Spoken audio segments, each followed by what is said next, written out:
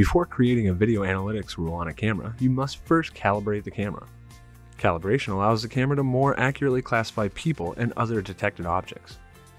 To calibrate the video camera, tap on the video card from your app's home screen. Then tap the setting cog in the top right corner. Tap Recording Rules. Then tap Add New Rule. Tap Video Analytics. Select the camera you would like to calibrate by tapping on its video feed. A warning will appear stating this calibration will delete any VMD schedules you have previously configured. These will be replaced by the new video analytics rules. Tap OK. The camera will process an update to prepare for video analytics support. This may take a few minutes.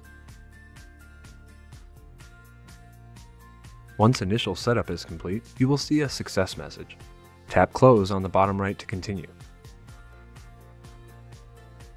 Once the camera has completed the initial video analytics setup, a message will appear over its video feed prompting you to calibrate the camera. Tap on the video feed to start the calibration process. Read the recommendations before proceeding. You will be asked to take a series of photos from the camera. Make sure to capture your entire body in the photos and move straight back from the camera rather than side to side. Once you are ready to start, tap Continue on the top right corner of the screen. After starting calibration, move into the camera's field of view. Take 5 photos of yourself at varied distances from the camera by tapping Take Photo underneath the video feed. Once all 5 photos have been taken, tap Submit on the top right corner. The page may take a moment to load.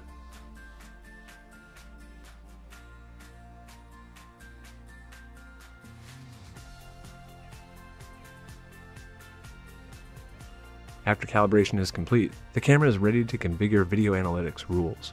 For more information on this process, check out the videos on creating video analytics rules for tripwires and ground zones. Make sure to subscribe to our YouTube page and click the Show More tab underneath the video where you can view valuable links pertaining to this product, similar how-to videos, and our low-cost, no-contract alarm monitoring services.